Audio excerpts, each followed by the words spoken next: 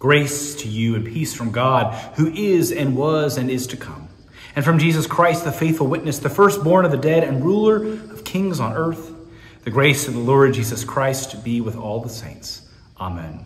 Welcome to First Day Methodist Church this morning as we worship together on this All Saints Sunday. We're so glad that you are worshiping with us online. We hope that you will uh, comment below and let us know that you are here gathered in worship with us today as we prepare for worship on this All Saints Sunday. Um, we just want to tell you about a couple of announcements coming up. One is um, coming up this Friday uh, uh, at 7 o'clock uh, here in the sanctuary. The Voices of Appalachia will present a concert here called Back to the 80s. And um, we are uh, excited about hosting them here um, on Friday for their concert. We hope that you will uh, join us for that if you are able.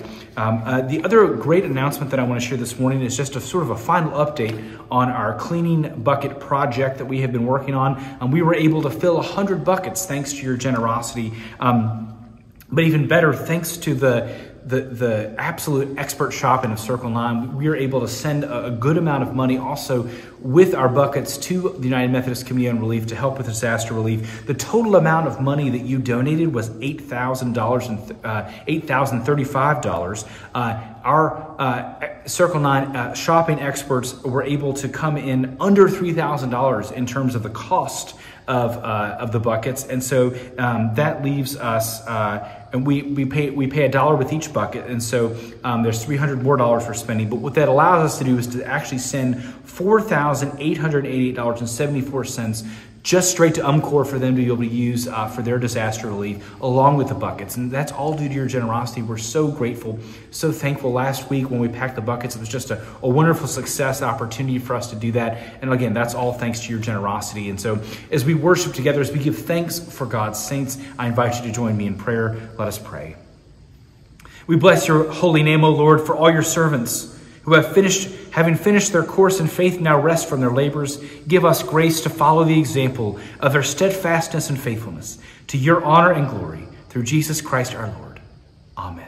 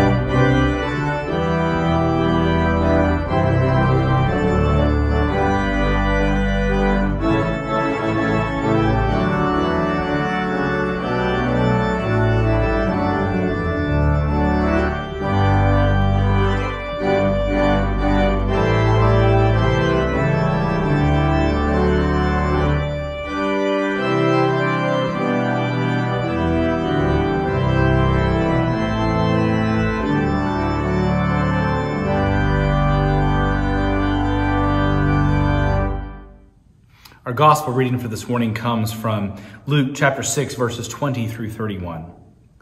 Jesus raised his eyes to his disciples and said, Happy are you who are poor, because God's kingdom is yours. Happy are you who hunger now, because you will be satisfied. Happy are you who weep now, because you will laugh. Happy are you when people hate you, reject you, insult you, and condemn your name as evil because of the human one. Rejoice when that happens. Leap for joy because you have a great reward in heaven. Their ancestors did the same things to the prophets. But how terrible for you who are rich because you've already received your comfort. How terrible for you who have plenty now because you will be hungry. How terrible for you who laugh now because you will mourn and weep. How terrible for you when all speak well of you. Their ancestors did the same things to the false prophets. But I say to you who are willing to hear, love your enemies, do good to those who hate you. Bless those who curse you, pray for those who mistreat you. If someone slaps you on the cheek, offer the other one as well. If someone takes your coat, don't withhold your shirt either. Give to everyone who asks, and don't demand your things back from those who take them. Treat people in the same way that you want them to treat you. The word of God for the people of God. Thanks be to God. Amen. Let us pray. May the words of my mouth and the meditation of all of our hearts be acceptable in your sight, O God, our rock and our redeemer. Amen. You may not know this about me, but one of my favorite music artists is Weird Al Yankovic believe it or not. And in fact, uh, there's been a lot of Weird Al in my life lately. Uh, hopefully, there's been a lot in yours. But in my life, anyways, a couple weeks ago, Weird Al actually came to Roanoke. He played at the Performing Arts Center, uh, at the Berglund Center. And uh, I went to see him there. It was, it was wonderful. Uh, and, and, and did it with a, a, good friend of mine. And, and then um, you may have seen commercials. This past Friday, uh, there was a, a, a, biopic of Weird Al that came out called Weird. And uh, and, and in the same way that many of Weird Al's songs either parody actual songs or styles of songs, the, the movie itself is its own parody of the kind of biopics that, that we see uh, about uh, famous, especially musicians, and sort of the tropes that go along with that. Um, but it got me thinking about parody songs, especially when I was looking at this scripture, because uh, I came across an actual parody of a hymn that was written in the early 1900s, believe it or not, um, that, that sort of speaks to uh, some of what Luke is trying to show us through Jesus' words this morning. Um, you may have heard um, the expression, the pie in the sky. That's all right, sort of a way of, of delaying gratification, um, especially in a religious way, right? That, that, that, okay, well, things might be bad now, but one day they'll be better. And so you might as well just suck it up now or, or however you want to think about it. But the pie in the sky sort of spiritualizes it and pushes it off, um, off into the distance. Uh, and this is something that's been done um, throughout history uh, in, in, some nefarious ways, really to, to, to, keep people in subjugation. And so um, someone wrote a, a, in the early 1900s a, a parody of, uh, it's the same tune as Sweet By and By, but in, instead it's the pie in the sky. The actual name for it is the preacher and the slave, but the, the it's often called pie in the sky. And this is how it goes. Um, I also like it because it lampoons long-haired preachers, which, okay. Uh, but this is how it goes. It says, long-haired preachers come out every night to try to tell you what's wrong and what's right. But when asked, how about something to eat? They will answer with voices so sweet. You will eat by and by. In that glorious land above the sky, work and pray, live on hay. You'll get pie in the sky when you die. See, the, the point is that people have real needs in this life, and often the way that we turn away from them, or at least justify their suffering, is by promising a reward later.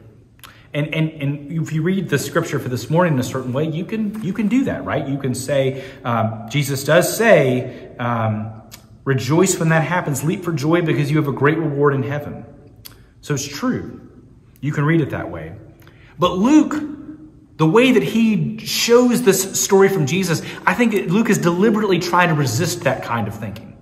Um, he's trying to resist a spiritualization where, where it's put off to be the pie in the sky. Because uh, Luke tells this a little bit differently than Matthew. First of all, he puts it much sooner, earlier in his gospel than, Mar- than Matthew does. It comes only a couple of chapters after Jesus has said that he has been anointed to bring good news to the poor. And here Jesus says, Blessed or happy are you who are poor. Blessed or happy are you who hunger now. Blessed are you who weep now. Blessed are you when people hate you, reject you, insult you, and condemn your name as evil because of the Son of Man. Matthew, and this is not a knock against Matthew, Matthew's telling it differently, but in Matthew's Beatitudes on the Sermon on the Mount, He says, Blessed are you who are poor in spirit.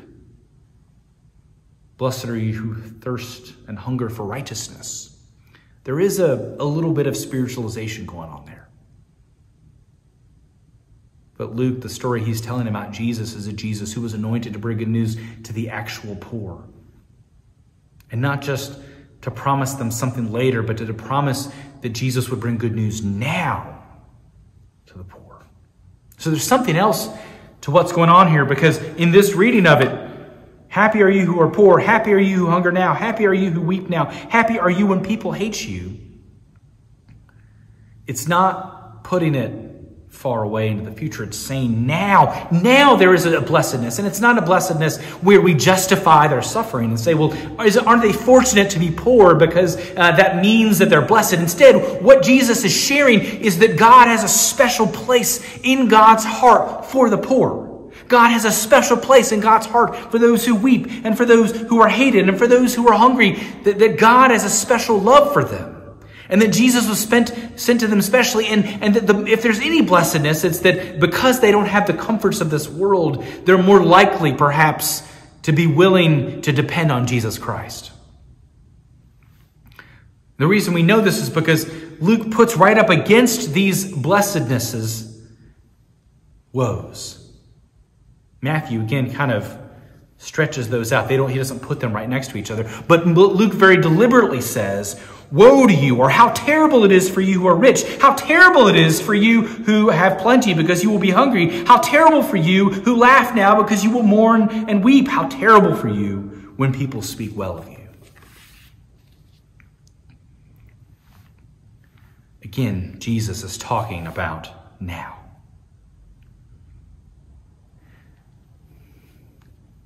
And pulling us away from the tendency to justify the suffering of others as some sort of conduit through which their salvation comes. Instead, Jesus calls us to account. Because for many of us, if we're honest, we experience a relative amount of comfort compared to most of our neighbors, certainly amongst our worldwide neighbors. And so we're not really paying attention to this if we're not squirming when we start hearing the woes, how, how terrible it is that, that, that Jesus is trying to say that there's a, a certain degree of spiritual peril in being comfortable, a certain spiritual peril in being overfed, a spiritual peril, peril in not mourning and weeping with those who mourn and weep. It's, it's why when we talk about even when we've been talking about stewardship here in the church, we've been focused first on the good that being generous does to our spirits and our souls. Because when we hold on, Jesus make it clear, we hold on to too much. It puts our souls in danger because this is this is what Luke is giving us is a really a, a, a way of looking at what does it mean to follow faithfully and to not spiritualize, but to do Christ's work on earth now Recognizing that, yes, there is a, a rewardedness, there's an inheritance that, that is given to all of the saints. But to recognize that our work, that, that eternal life begins now, and that work begins now, and that we have a responsibility to be part of Jesus Christ's good news to the poor. And whenever we talk about this, one of the things that always changes is people say, How do you do that? Because, and sometimes we kind of kind of hedge or we spiritualize and we say, well, it'll, it'll come one day. When I was in seminary, the, way that we tried not to let that happen was somebody would usually ask the question after something like they would say, what does that look like? What does that look like in our life right now? And I feel like that's what Luke is doing, right? He's saying, this is what this looks like. This is what it looks like. It's to be a follower of Jesus, to grow in love of God and neighbor, to, to be one who's being made holy by Jesus Christ in the power of the Holy Spirit, is to be one who, if we're not poor and not hungry and not grieving, to seek out those who are, to be part of the alleviation of their suffering, but also to realize that when we find them and when we are near them, we are finding Jesus because that is where Jesus Christ is. That's what it looks like. Luke is saying, Jesus' words are saying, because we have to be careful. We don't want, we can't excuse the suffering of others as a means to an end. It's why in a pastoral care situation, you're never going to hear me say something like, everything happens for a reason, because that's a way of justifying suffering often. But death is, is brutal and, and, and painful.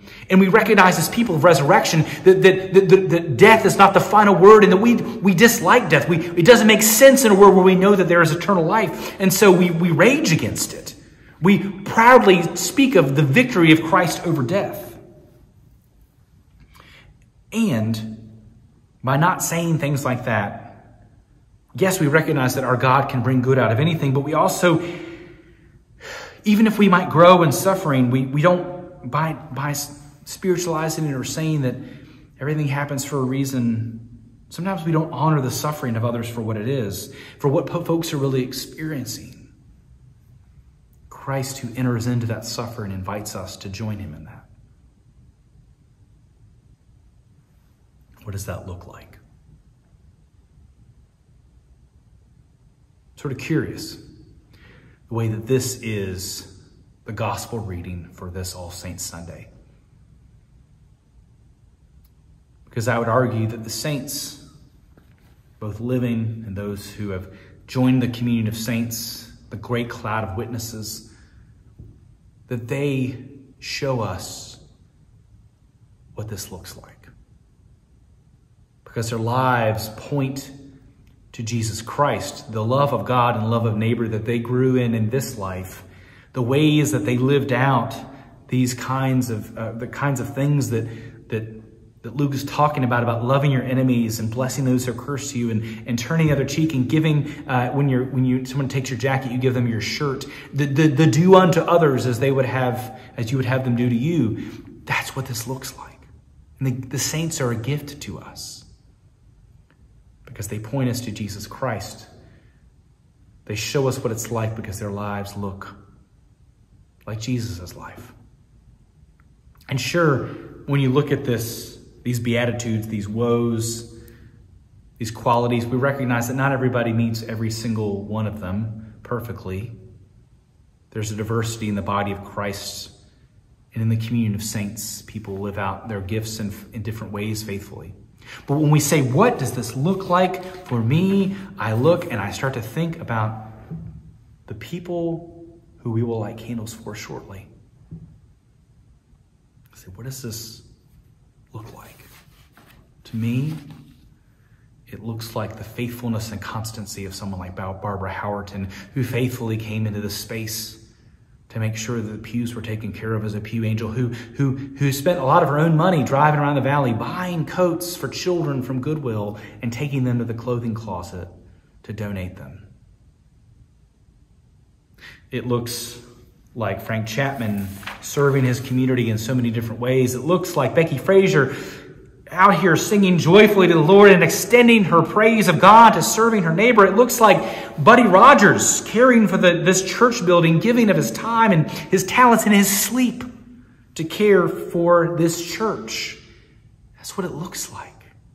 We honor the saints because they honor Jesus Christ with their life. We celebrate the saints because their lives are signposts that point us to Jesus Christ's life. What does it look like? It looks like the lives of saints because their lives look like Jesus' life.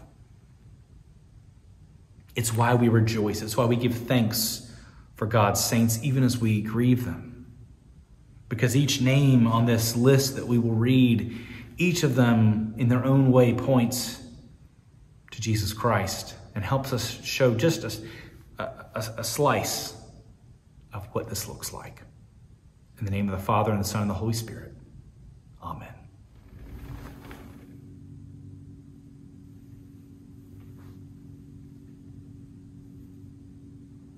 Frank Chapman.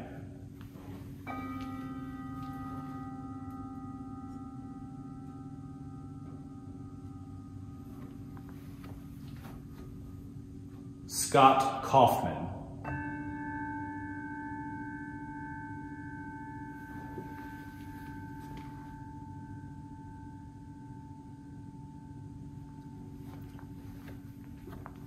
Becky Frazier.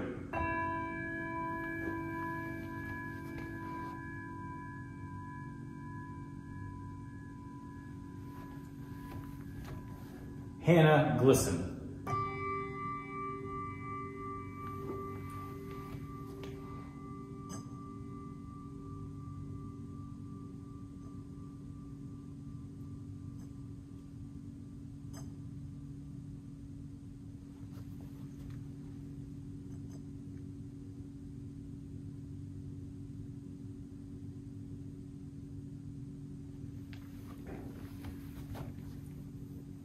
Lawrence Goodwin.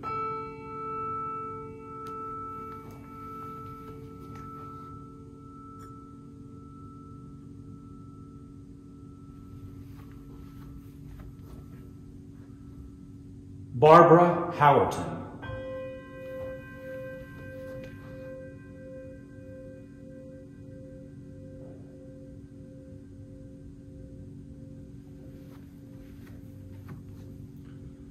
Wally Nelson.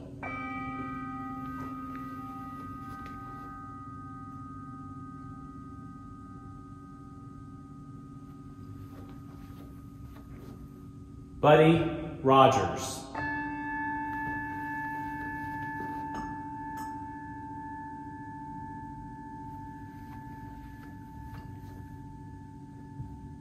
Michael Spessard.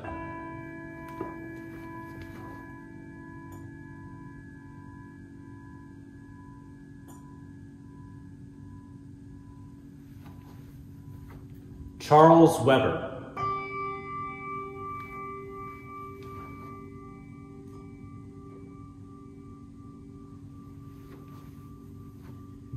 Jane Wright.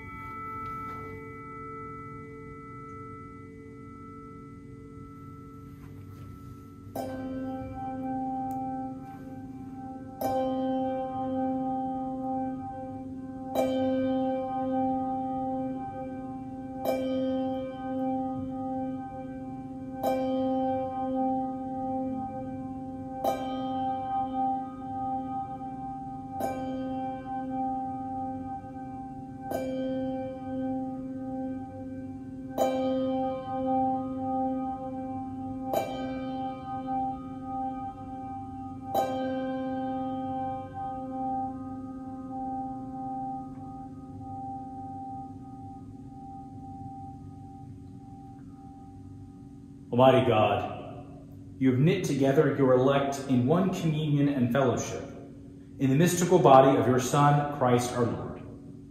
Grant us grace, so to follow your holy saints in all virtuous and godly living, that we may come to those unspeakable joys which you have prepared for those who sincerely love you. Through Jesus Christ our Lord. As we continue in worship, uh, we have this opportunity to share our tithes and gifts. Of course, there's many ways you can give. Uh, you'll see some ways online. Um, you'll see uh, that you can give uh, through our website um, and, and, and uh, as well as mailing. Um, but we're so grateful for your gifts, so thankful. Another just uh, brief reminders if, as we are still continuing to collect estimate of giving cards from Consecration Sunday. We have over 90 cards now um, that folks have turned in. And if you haven't been able to turn in yours yet, um, we encourage you to. There's lots lots of ways to do that. Um, if you didn't get a card and you'd like one, please let the church office know. We'll be glad to get you one. But we're so thankful. We hope that we can get as many of those cards in as we can to be able to uh, work towards our budget. But we're so thankful for your generosity and so thankful for the commitments that you're making to our church. But for now, let's uh, receive our tithes and offerings.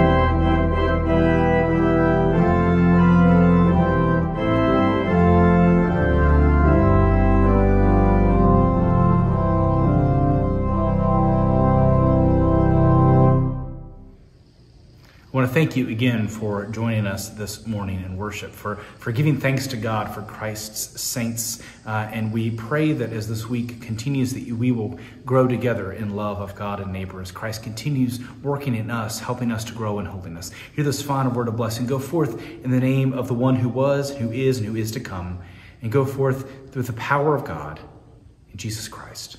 Amen.